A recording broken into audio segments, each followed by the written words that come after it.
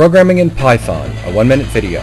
Lesson 3, Interactive Python. Music of David Milneau, courtesy of DeWolfe. The Thinking Person. Python is free. Python is best. No one company owns it or your destiny. Use the pause button if you need it. GUI stands for Graphical User Interface. Four parts to interactive programs. Thank you, Stephen Ferg. A. The look of the GUI. B. Acting on events. C. Binding the look to the actions. And D. Looping. Open a shell. Start an editor. A.py defines the look of the Python program. B.py defines the actions to be taken when the user provides an event. C.py defines the binding between user events and actions. D.py defines the loop.